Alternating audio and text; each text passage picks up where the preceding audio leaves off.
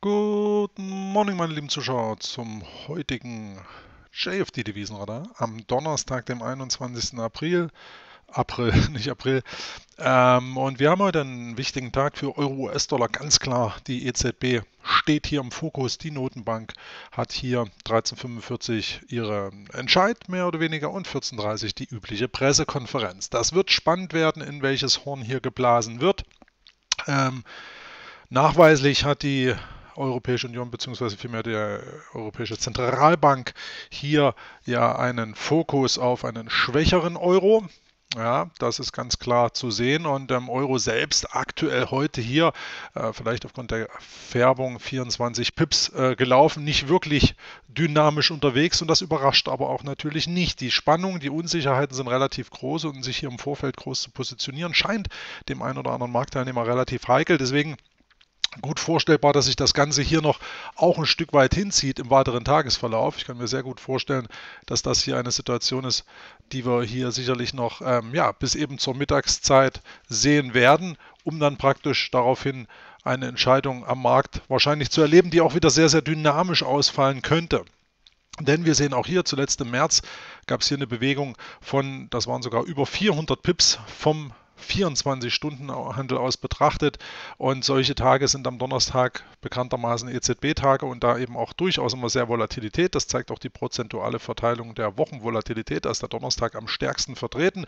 Und der Donnerstag ist interessanterweise auch der bullischste Wochentag im Hinblick auf die letzten 52 Wochen und auch im Overall View während der letzten 17 Jahre hier mit 52 Prozent auch leicht positiv. Also der Donnerstag hier insofern ein sehr, sehr interessanter Tag für Euro-US-Dollar. Heute insbesondere interessant, da wir eben erleben dürfen, ob es hier eine Fortsetzung der gestrigen Schwäche gibt. Und da zoome ich mich mal raus. Gestern hat Euro-US-Dollar hier ja zur Mittagszeit begonnen, hier eine scharfe Korrekturbewegung einzuleiten. Das führte sich, setzte sich fort dann bis zur Asia-Session. Und was hier interessant ist zu sehen, das ist diese Situation am gestrigen Tagestief. Euro-US-Dollar hat hier bislang einerseits in der Nacht und einerseits hier am Morgen und just nochmal hier zur, zum Start der European Handelssession dieses Vortagestief hier verteidigt. Das Level um 1,1290, 1,1291. Hier ein ganz, ganz interessantes Niveau und darauf sollte man mal durchaus Acht geben, ja, was passiert, wenn Euro-US-Dollar hier wieder hinläuft. Ansonsten hier grob in dieser Asia-Range gefangen. Wir haben vor wenigen äh, Minuten hier gesehen, dass es einen Ausbruchsversuch nach oben gab, hier über den Deckel, also neues Tageshoch sozusagen. Da sind wir auch schon wieder sechs Pips weg vom Tageshoch. Es bleibt also ein zähes Unterfangen ähm, und es ist gut vorstellbar, dass sich das die nächsten Stunden hier sozusagen seitwärts weiter bewegt, ohne klare Impulse, um dann hier 1345, 1430 sozusagen den Deckel nach oben zu sprengen und dann kann es auch wirklich sehr, sehr volatil werden. Wir werden das im Stream beobachten, was Euro-US-Dollar da hier sozusagen auffährt. Grundsätzlich die Situation die, dass wir hier, jetzt gehen wir nochmal in den Tageschart vom Euro-US-Dollar, bereits gestern im JFD-Devisenradar ähm, feststellten, dass die Tendenzen nach unten weisen. Ja, wir haben hier ganz klar den Widerstandsbereich 1,1450, 1,15. Hier diese Zone, wo Euro-US-Dollar sich definitiv schwer tut. Das hat man auch in der Vorwoche gesehen. Hier gab es dann äh, einige Doji-Kerzen. Es gab keinen richtigen Kaufdruck unterhalb dieser Marke, insbesondere vor der EZB-Sitzung. Insofern rein technisch durchaus Konsolidierungspotenzial möglich. Es wird auch übrigens auch von vielen professionellen Handelshäusern genau das erwartet. Die Frage ist eben nur, ob es sich umsetzt. Ähm, de facto hier die Situation, dass der Markt ähm, immer noch unschlüssig ist, grundsätzlich aber, und das muss man sagen, seit dem Tief hier vom Dezember in einem Aufwärtsimpuls steckt. Ja, das heißt, auch die aktuelle ähm, Konsolidierung ist im Prinzip eine Reaktion auf, das, auf die Vorgängerbewegung hier von Anfang April. Ja, da gab es ein neues Mehr. Monatshoch.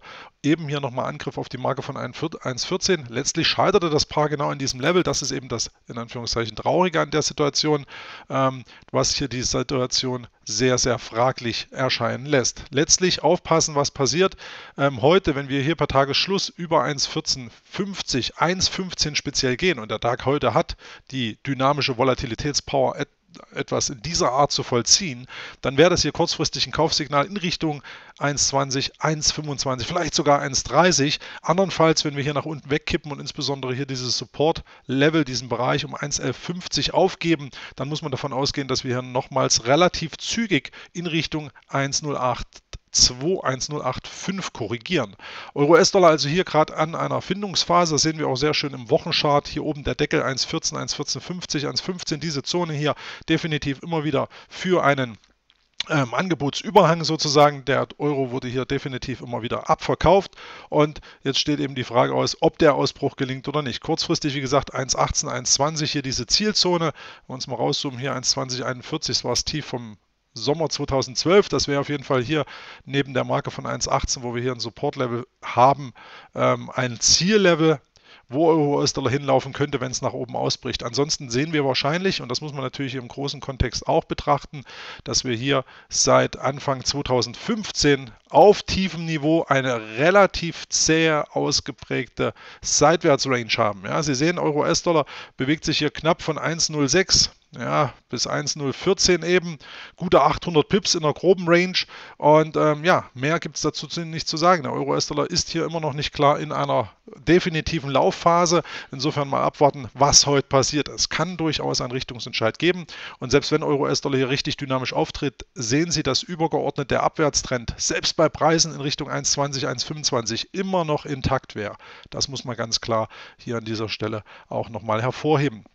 Im Kontext zum Euro-US-Dollar ist auch der US-Dollar-Index zu betrachten mit dem Unterstützungsniveau. Auch das hatten wir gestern im JFD-Devisenradar beleuchtet. Hier mit dem Unterstützungsniveau 1, äh, 93, 50, 93 Punkte etwa. Wichtiges Level. Mal schauen, was da passiert. Letztlich jetzt Euro-US-Dollar heute, wie gesagt, am Nachmittag spannender in Sachen Auflösung. Es dürfte volatil werden. Heute habe ich nochmal mitgebracht, etwas exotischer, aber auch interessant, den Silberpreis. Wir hatten neulich hier den Goldpreis schon im Fokus, ähm, der hier grundsätzlich bullisch daherkam und sich auch sozusagen an den Fahrplan hielt. Silber hier auch sehr, sehr dynamisch während der letzten Tage insbesondere auch heute wieder stark nach oben rausgezogen.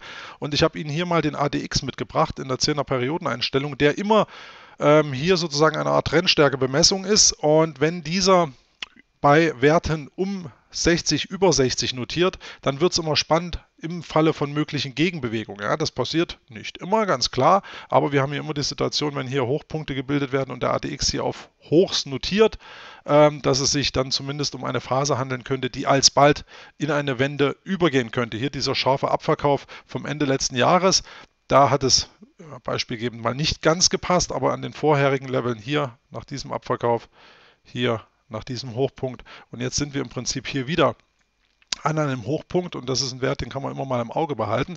Ähm, Silber kann durchaus weiter anziehen, hängt auch ein ganzes Stück weit vom Goldpreis ab, der ja grundsätzlich bullisch ist, aber wir sind hier schon in einer relativen Überhitzungsphase. Ja. Auch hier, als wir über 60 gegangen sind im Februar, gab es dann hier erstmal eine scharfe Korrekturbewegung und ähm, ähnliches dann direkt nochmal hier im März und jetzt haben wir noch eine gleiche Situation im April und wir haben hier ein Widerstandslevel vorausliegen bei 1, äh, bei 1775 etwa. Dieses Niveau hier ist ein Horizontalbereich. Wenn wir hier noch weiter hochschießen, dann dürfte auch hier dieses ADX-Niveau weiter überhitzten Status anzeigen, was ergo dazu führen dürfte, dass hier die Situation dann relativ spannend wird in Sachen kurzfristiger Gegenreaktion. Warum das spannend ist, zeige ich Ihnen auch nochmal hier am großen Chart zu Silber. Hier im Wochenchart-Intervall, da ist das Level von 1,1775. Hier diese Zone lässt sich sogar aus 2010 herleiten. Und hier sehen Sie nochmal genau diese Marke, die hier auch auf Big Picture Basis durchaus interessant ist. Selber dennoch Silber dennoch hier in einer Art Bodenbildung und hier sehr, sehr dynamisch. Das sehen Sie anhand der Wochenkerzen. Ja, die letzte Woche und auch diese Woche hier wirklich dynamisch nach oben gezogen. Und jetzt ist natürlich die Frage, geht das so weiter? Oberhalb von 1,1775, das ist der naheliegende Widerstand. Wir sind ein Stück weit überhitzt, aber der Goldpreis mit bullischem Bias und noch keinesfalls stark überhitzt, weil es unlängst eben eine Konsolidierung beim Gold gab, könnte es sein, dass der Silberpreis hier richtig nach, hoch, nach oben gezogen wird.